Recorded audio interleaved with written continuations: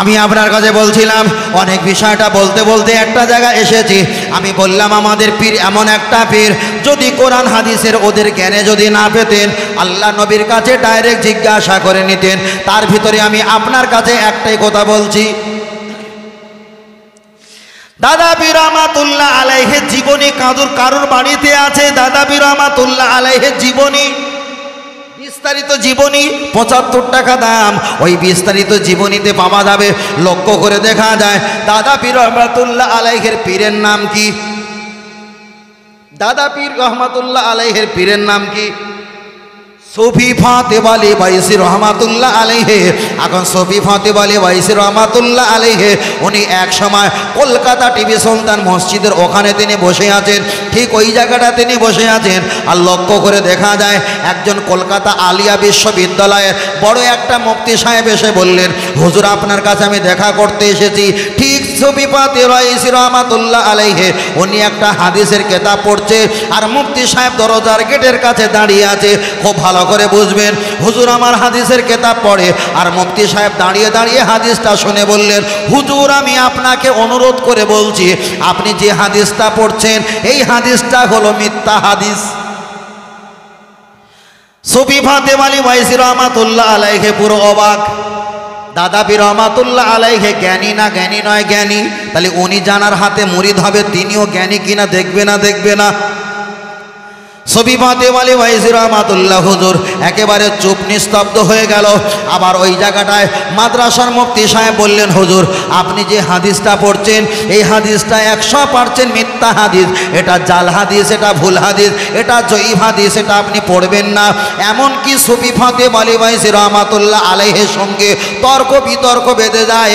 ওই জায়গায় মুফতি সাহেব দাঁড়িয়ে চল্লিশটা হাদিস পড়ে বলছে, হুজুর, অমুক অমুক এই ব্যক্তিরা এই হাদিসটার বিপক্ষে মিথ্যা হাদিস বলে তারা প্রমাণ করে দিয়েছে।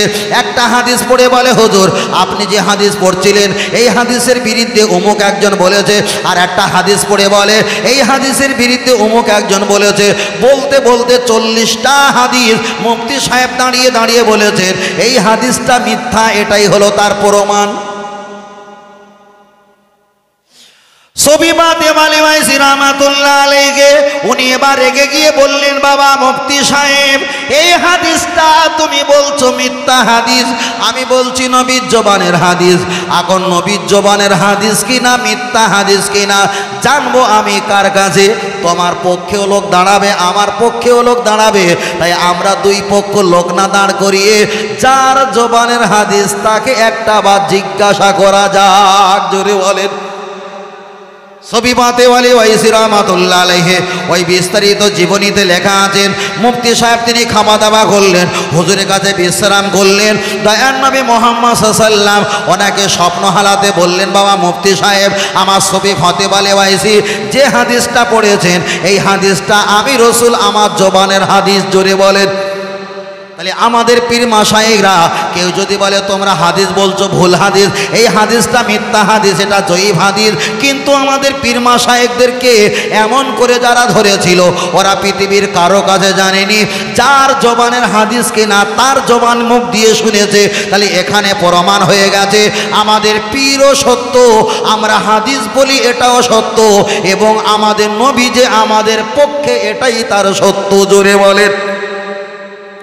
এবার যদি বলেন, হুজুর এটাকে শরিয়াতে জায়েজ? নবী এসে বলে দেবে, আর ওটাই প্রমাণ হয়ে যাবে। তাহলে আর একটা অপশান জুললে পরিষ্কার হবে।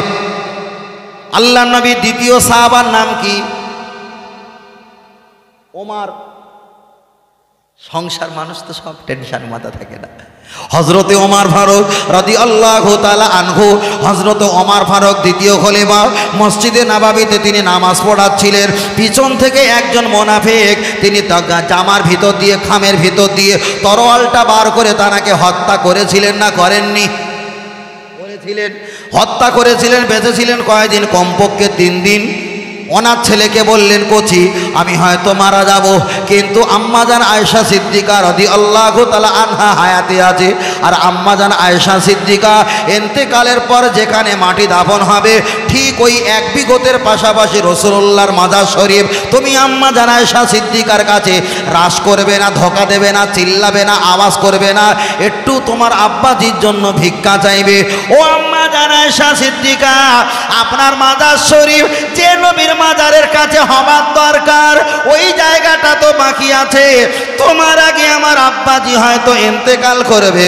আমার আব্বাজি তোমার কাছে জোর করতে চায়নি, আমাকে একটু ভিক্ষা দিতে পাঠিয়েছে।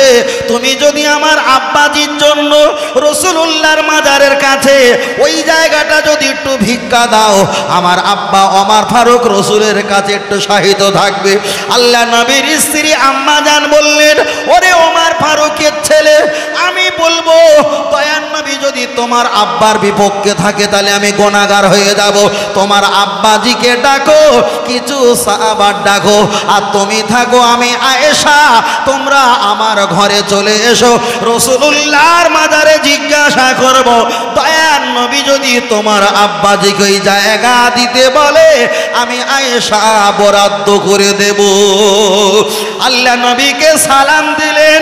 সালাম দেওয়ার পর দয়ান নবীকে জিজ্ঞাসা করলেন দয়ান নবী মাদার শরীফের ভিতর দিয়ে আওয়াজ দিয়ে বললেন, আমার পাশে অমারের জন্য জায়গাটা তুমি অকফেলিল্লা করে দাও। জোরে জোরে বলেন সোবাহান আল্লাহ তাহলে পুরপুরার পীর আবু মাক্কা সিদ্দিক রহমাতুল্লাহ আলাইহে, ওনার পীর সবি ফাতে বলে এসি বিবাদে পড়েছিল। দয়ার নবীর কাছে জেনেছে, এটাই যদি সত্য হয়, তাহলে ওমার ফারুকের কবরটা রসুলের মাজারের পাশে হবে কিনা জেনেছে, ওটাও তাহলে সত্য, জোরে এখনও তিনখানা এই চার এই হ্যাঁ তিনখানা। এখন তিনখানা উদাহরণ আছে বলার সময় নেই। আল্লাহ, অসুবিধা হচ্ছে নাকি? তুমি যাওয়া কোথায়? বলে, জাল ছেড়ে পালাবে পুকুর ছেড়ে। দাদু? জাল ছেড়ে পালাবে দাদু, পুকুর ছেড়ে পালাতে পারবে না। তুমি বলে দেওয়া, এটা হারাম, ওটা হারাম, ওটা যায় ওটা না যায় ওটা পাক, ওটা না পাক, জিলাপি হুজুর বালাগালাগুলো বলে চলে যাবে, তোর পাড়া নাম্বার, খণ্ড নাম্বার পৃষ্ঠা নাম্বার দু মিনিটে শেষ করতে পারি। একজন অস করছে আর বারবার শুধু বলছে, পাড়া নাম্বার বারো খুলে দেখে নিতে পারব না প্র্যাকটিস করা আছে। এ এক সপ্তাহ করেছে দশটা তারপরে সপ্তাহ করেছে দশটা তারপরে শুধু দশটা, হয়ে গেছে পঞ্চাশটা। এখানে পাড়া নাম্বার পৃষ্ঠ নাম্বার বলে, ওখানে পাড়া নাম্বার পৃষ্ঠ নাম্বার ছেলেরা সুরা ফাতিয়া জানে, সুরা ফাতিয়া জানে না। তার আরবিতে চন্দ্রবিন্দু কী করে জানবে? এক, দুই, তিন। কত বুঝতে না? ছেলেরা সুরা ফাতিয়া জানে না। তা আরবিতে এটা এক, এটা দুই, এটা তিন, কি, কে জানবে?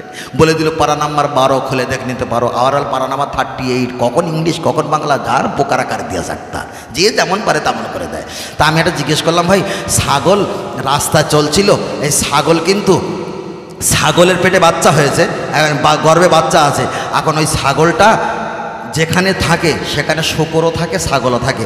এখন ওর পেটে কিসের বাচ্চা? আমি কী করে বসবো? ওটা কোন পাড়ায়, ক পাড়ায় আছে বলো? বলে, ওই কে আর বলতে পারি? এত পাড়া দিয়ে বলছিলিস এটা কেন বলতে পারবি নি? একটা ছাগল যদি পেটে গর্ভবতী হয়, যদি সন্তান থাকে এখন শুকরও ঘুরছিল, ছাগলও ঘুরছিল। এখন শুকর বেবুলে হোক ও কালো ও কালো, তার সঙ্গে সঙ্গম করেছে। এখন সন্তান এসেছে। এখন ওটা শুকরের বাচ্চা না ছাগলের বাচ্চা? জন্মিত কার? কার জন্মিত? কী করে বসবে? কোনো কোনো ঐতিহাসিক বলেছে, ওই ছাগলকে, ওই ছাগলের বাচ্চাকে বড় হলে অন্তত ঘাস দাও, আর একদিকে মাংস দাও, যদি ঘাস খায় ছাগলের বাচ্চা, মাংস খেলে? কত পারলেন হ্যাঁ আবার কেউ কেউ এটা ঘুরিয়ে বলেছে, না, ওখানে কো- ছিল না, ওখানে কুত্তা ছিল। তাহলে বিষয়টা হয়ে গেল পরিষ্কার, ওখানে ঘাস আর মাংস পরিষ্কার হবে। ইমাম আজম আবহানিবা রহমাতুল্লাহ আলাইহে ওনার কাছে একটা মশলা জানতে এসেছে। হুজুর, আমাদের এলাকা দুটো মেয়ে আছে, একটা হিন্দু মেয়ে, একটা মুসলিম মেয়ে। মানে একটা নাম বললে ভুল হবে, একজন বেধর্মী, একজন ধর্মী। তা দুইজনের রাস্তা যেতে যেতে এখন হঠাৎ করে বাস পড়েছে। উপর থেকে বাস পড়ে না? বজ্রঘাত পড়েছে, দুজন মারা গেছে। হুজুর, কে মুসলিম আর কে বেঈমান, আমরা কে কে চিনবো? বড় পিসারা বলেছিলেন বাবা তো সহজ ব্যাপার। দুজনা গালটা ভাঙা করে। দুজনা গালটা টেনে ভাঙা করেছে। জিভাটা দেখো। যার জিভাটা বার হয়ে আছে কিংবা জিভাটা ভেঙে গেছে, ইনি হলো বেঈমান। যার জিভাটা উপরের তালুতে সেটে গেছে, ইনি হলো ইমানদার কেন আল্লাহকে ডাকতে গেলে প্রথম জিভাটা কোথায় ওঠে? চেক করেন চেক করেন। আল্লাহ আল্লাহ। বলে নিশ্চয় বজ্রপাত হয়েছিল। ছোটোবেলা থেকে ওনার মা শিক্ষা দিয়েছে, আল্লাহকে ডাকবে বিপদ হলে। নিশ্চয়ই ওর জিভাটা যখন উপরে সেটে গেছে, ওই মেয়েটা হলো মুসলিম। যদি বলেন সোহান আল্লাহ বুঝলেন না? আল্লাহ আল্লাহ। আমি আপনাকে বোঝাতে চেয়েছি। চলেন অনেক কথা আপনার কাছে বলছিলাম। একদিকে আমি অনেক বাস্তবিক আর অবাস্তবিক মিলিয়ে সব রকম বাস্তবিকের সঙ্গে আমি ধরে আপনাকে শুনিয়েছিলাম। এবার আপনার কাছে আর একটা বিষয় বলি। তাহলে নবী সম্পর্কে আমরা বলেছি, আলহামদুলিল্লাহ, ভালো। এবার একটা বার আপনাকে বলছি, বাবা, আমার দয়ার নবী দুনিয়াতে এসেছে। আমার দয়ার নবীকে আল্লাহ সৃষ্টি করেছে। আমার দয়ার নবী ফার্স্টে এসেছে না লাস্টে এসেছে। নবী ফার্স্টে এসেছে না লাস্টে এসেছে?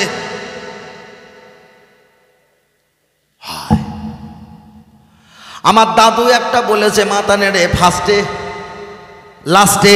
আমার দাদু বলেছেন লাস্টে এসেছেন।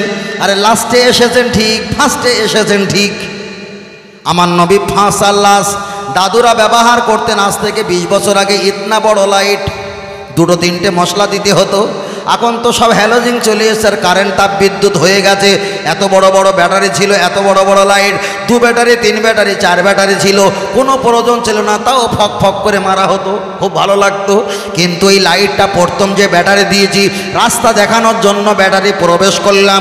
যে ব্যাটারিটা প্রথম গিয়েছে, ওই ব্যাটারিকে আমি তারপরে একটা, দুটো, তিনটে, চারটে, লক্ষ লক্ষ ব্যাটারি দিলাম। তবে যে ব্যাটারিটা প্রথম গেছে, বার করার সময় ওই ব্যাটারি কি আর প্রথম বার হবে?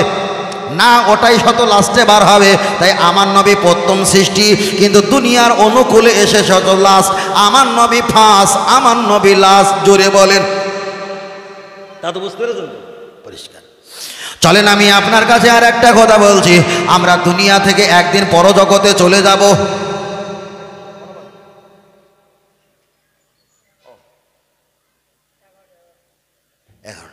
তাই না? ও উঠেছি আধা ঘণ্টা দেরি কর না? হ্যাঁ। বাবু, না আমার পরে হুজুর আছে তো? হ্যাঁ বাবু। না না না। সে ঠিক আছে। বাইরের গায়ে ধরে বাঁট চেপে দুধ লিলি হয়। কথা বুঝতে না? আপনাদের বালতির বড় সাইজ আর আমার বাঁট একটু একটুখানি ভাই। ছোকরা পেনা মানুষ। তা কত দুধ দেবো আপনাদের? এই, বিশাল হাসি। কটা আড়াইশো টাকা দিলে বারো টাকা হয়। হাসি বন্ধ হয়ে যাবে। একটু চুপ করো।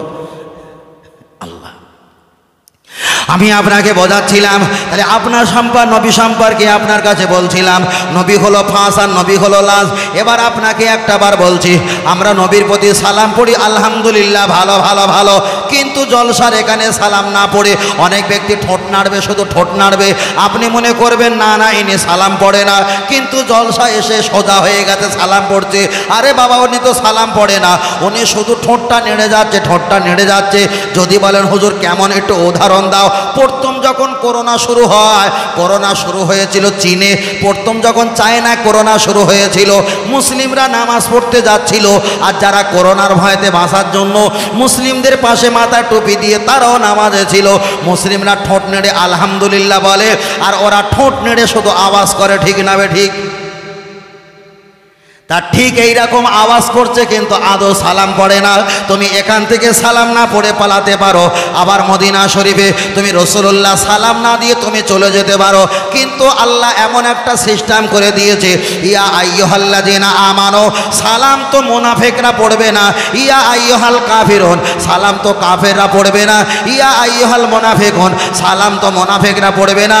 ইয়া আইয়হাল্লা না আমানো, আল্লাহ জানে জানে জানে সালাম মোমেনেরাই পড়বে। তাই আমার আল্লাহ নামাজের ভিতরে নবীর প্রতি সালাম দিয়েছে, আসসালামু আলাইকা আইয়ুহান নবী ও রাহমাতুল্লাহি বারাকাতু। তুমি জলসায় সালাম না পড়ে চলে গেছো, কোনো সমস্যা নেই। মদিনা শরীফে সালাম না পড়ে চলে গেছো, ব্যাপারটা আমি ছেড়ে দিলাম। আফদালুল ইবাদাত, ইবাদাতি সালাত, সবচাইতে বড় ইবাদত সেটা হলো নামাজ। ওই নামাজের ভিতরে আমার দয়ার নবীর প্রতি সালাম পড়া আমার আল্লাহ ওয়াজিব করে দিয়েছে। আপনি যদি সালাম না পড়ো, ও অজীব ভঙ্গ হয়ে যাবে। আর অজীব ভঙ্গ হয়ে গেলে নামাজ হবে না। তোমার নামাজকে যদি বাঁচাতে চাও, ওই নামাজের ভিতরে নবীর প্রতি একটু সালাম পড়ে না আর একটু জোরে। আল্লাহ নবী হাদিস শরীফে বললেন ইন্নিলারাপুল ইন্নিলারাপুল হাজারা ওয়া সাজারা ইউসাল্লুনা আলাইয়া। আমি যখন তায়েফে রাস্তা দিয়ে যেতাম অল হাজারা ওয়া ওই সব গাছগুলো, ওই সব পাথরগুলো, ইউসাল্লুনা আলাইয়া। তারা আমাকে দেখে সালাম দিতেন। যারা আমাকে সালাম দেননি, ওদেরকে আমি চিনতে পারি। যারা আমাকে সালাম দিয়েছে, ফুলান ইবনে ফুলান, ওই গাছের বংশ, পাথরের বংশ, আমি রসুল্লাহ নাম ধরে বলে দিতে পারি। আর একটু জোরে বলে সোবাহার আল্লাহ আল্লাহ নবী জানিয়েছেন, কোনো ব্যক্তি যদি আমার নামে সালাম পাঠ করে, আমার আল্লাহ ফারেস্তা দিয়ে আমার মাজার শরীফে পৌঁছে দেয়, ফুলান এমনি ফুলান শুধু সালাম পৌঁছায় না, যে ছেলেটা উম্মাদ সালাম দিয়েছে, ওই ছেলেটা কার ছেলে, তার বাপের নাম সহ আমি রসুল আমার কানে পৌঁছে দেয়, জোরে বলেন। এবার আপনি বলবেন, হুজুর, আমি রসুলের প্রতি সালাম পড়ি। আলহামদুলিল্লাহ ভালো। আপনি বলবেন, হুজুর, আমি কেন সালাম পড়ব? চলেন, আমি আপনার কাছে আর একটা বার বলছি, আমরা অনেকে নামাজ পড়ি, আর নামাজ পড়ার পর ডান দিকে, বাম দিকে, ডাইনে বাইনে সালাম পিরকার দোনো হাত উঠাকার, দোয়া মাঙ্গি। আমরা দুটো হাত তুলে দোয়া চাই, আবার হাত বহু জিয়াদা না, ওটাই আনে কান্দু সে উঁচি না করো। দোয়া যা ফারে কার দোনো হাত মোহবার ফিরিল। আমরা যখন মোনাজাত শেষ করি মোনাজাতের শেষে বেরহমাতিকা ইয়া আরহামা রাহিমিন বলে শেষ করি। মোনাজাতের শেষে আবার কেউ কেউ আলহামদুলিল্লাহ রাব্বিল আলামিন বলে শেষ করে। আবার মোনাজাতের শেষে আমি আর আপনি লা ইলাহা ইল্লাল্লাহু মুহাম্মাদুর রাসূলুল্লাহ বলে শেষ করি। তাহলে একদিকে বেরহমাতিকা, একদিকে আলহামদুলিল্লাহ, একদিকে লা ইলাহা ইল্লাল্লাহ, তিনটে জিকির তিন রকম মানুষেরা ব্যবহার করি, তাহলে তিনটে যখন আল্লাহ জিকির, এই জিকিরটা কোনটা ভালো চলেন নবীর কাছে একটা বার জেনে নেওয়া যাক। আল্লাহ নবী জানিয়েছেন আফদল জিকির জিকির ইলাহা ইল্লাল্লাহ মোহাম্মদ রসুল্লাহ সাল্লাম পৃথিবীতে যতই জিকির আছে, সবচাইতে জিকির হলো কলেমা তৈবা জোরে বলেন। আর একটু জোরে হবে না? অনেক জায়গায় দেখবেন, সালাম ফিরিয়ে চোদ্দ গোষ্ঠীর বড় সমন্দির খালাতে বোনের ভাইজির বড় ননদের মেজো ছেলের ফুফুতে বোনের বড় শ্বশুরের ছেলে একজন মারা গেছে আল্লাহ তার দরবারে পৌঁছে দাও। সব দোয়া পানি চেয়ে নিয়ে বেরহমতিকা রহমান। আবার আলহামদুলিল্লাহ হয় না? হয় না। আবার যদি ইমাম সাহেব হতো যদি এলাকার মুসল্লি যদি একটু বলে বাবা আমরা পীরপন্থী নবী প্রেমিক মানুষ তুমি একটু কলেমা শরীফ পড়ো। ও দেখতে পাচ্ছি একে তো চাকরি পাওয়া না, সব ভাতা ভাতা হয়ে গেছে আবার নাম কাটা ছাটা করা অনেক সময় যাবে তা যা আছি তাই থাকি। তখন ঠিক আছে ফজরের নামাজ থেকে কলেমা পড়ছি। ফজরের নামাজ পড়ার পর যখন হাত তুলে মোনাজাত করা হয়েছে তখন বলছে লা ইলাহা মোহাম্মদ রসুল বলার সময় কারেন্ট চলে গেছে। এরকম সমাজে আছে। মোহাম্মদ রসুল বলার সময় কারেন্ট চলে আসলে এই মালটা কে? বাহাত্তর মাল। কয় নাম্বার? বাহাত্তর মার্কা। বাল্যভূমি সল্ল না, নামাজ পড়বে। রসুল বলেছে, নামাজ পড়বে। হয়া শুভ না, তবে ওরা রোজা রাখবে। হয়া হদ্দ না, তবে ওরা হজ করবে। কিন্তু ওদের ভিতরে সব থাকবে। আল্লাহর, আল্লাহ থাকবে, রহমতের মালিক থাকবে, কিন্তু রহমত ওলা আমি থাকব না। বুঝেন না?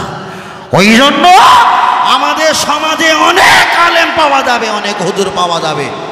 ইস্তাকামাত সন্নাতুল জামাত, ইস্তাকামাত সিলসিলা ফুরফুরা রহমতুল্লাহ আলাইহের পিত্তরিকত হানাফি মাজাহাবের মাসলার উপরে যোগ্য আলেম পাওয়া সমাজে খুব কঠিন, ঠিক না বেঠিক? মারাত্মক কঠিন। সব ভেজাল ভেজাল উপরে লেখা আছে, নকল হইতে সাবধান। তা চিনবিটা কীভাবে? নকল উপরে লেখা আছে, নকল হইতে সাবধান। চিনবে কীভাবে বাবা? খুব কঠিন। মানে দেয়াল আছে না, স্কুলের দেয়াল আছে, প্রসাবখানা আছে, ওখানে কলা গাছ আছে। এখানে লিখেছে কেউ প্রসাব ফিরিবেন না। তারপর কি আছে? ফিরিলে একশো টাকা জরিমানা দিতে হইবে। এলাকার কোনো পাকারাম ছেলে আছে? কেউ প্রসাব ফিরিবেন না। এই নাটা কেটে নিয়ে পরের লাইনে দিয়েছে যেখানে ফিরিলে একশো টাকা জমা দিতে হবে, সেখানে দিয়েছে না ফিরিলে একশো টাকা জরিমানা দিতে হইবে। কীভাবে সর্বনাশ করে দেখেছেন? না থাকার কথা কোন জায়গা? উপরের লাইনে। যেখানে লেখা আছে, ফিরিলে একশো টাকা জরিমানা দিতে হইবে, ওই না কেটে নিয়ে পরের লাইনে দিয়ে বলছে, না ফিরিলে একশো টাকা জরিমানা দিতে হইবে। নাও ঠেকাও। নামাজ শিক্ষায় বলেছে আজানে পরে দোয়া আর কেউ বলেছে আজানে পরে মোনাজাত। তুই মোনাজাত মানে হাত তোলা দোয়া মানে মুখে বলা। তোরা গুতুগুতি কর আমাদের বই তো বিক্রি হলো। গুতুগুতি কর বই তো বিক্রি হলো। একজন বলেছে আজানে পরে দোয়া আর একজন বলেছে আজানে পরে মোনাজাত। এখন যে বলছে বলে আমারও দলিল আছে। সতেরো টাকা নামাজ শিখে কিনলাম। নিয়ে বার করে নিয়ে চলে এসছে। দেখো এখানে লেখা আছে আজানে পরে দোয়া। এখানে হাত তোলা কথা নেই। আর একজন জানিস, আমারও উনষাট টাকা দামের একটা নামাজ শিক্ষা আছে। নিয়ে আয়। সেও নিয়ে চলে আসলো। দেখেছিস? এতে লেখা আছে, আজানে পরে মোনাজাত। আমার হাত তোলার মোনাজ করা আছে। দুই কেতাব ব্যবসায়ী সর্বনাশ করেছে। পরিষ্কারটা করল না। বুঝলেন না? আল্লাহ কবুল করে বললাম আমিন। আর একটি সকলে বলি আল্লাহ আমিন। আমি আপনার কাছে অনেক কথা বলছিলাম। চলেন আপনার কাছে যে বিষয়টা বলছিলাম, নবী সম্পর্কে বলতে বলতে অনেকটা চলে এসেছি। তাহলে আমরা বেরাহমাতিকা, আলহামদুলিল্লাহ, লা ইলাহা ইল্লাল্লাহ মোহাম্মদ রসুল্লাহ সাল্লাম এই বিষয়টা আমরা যখন বলব, আলহামদুলিল্লাহ ভালো ভালো ভালো, কিন্তু আমি রসুল্লাহর কাছে জিজ্ঞাসার ব্যাপার বললাম, আল্লাহ নবী বলেছেন সব চাইতে বড় জিকির হলো কলেমা শরীফ কলেমা শরীফ সব চাইতে বড় জিকির। তাহলে এবার আমি আপনার কাছে একটাই কথা বলছি, বড় জিকির যখন কলেমা আমরা তো লা ইলাহা ইল্লাল্লাহ মোহাম্মদ রসুল্লাহ আমরা মোনাজাতের শেষে বলি না বলি না। অবশ্যই বলি।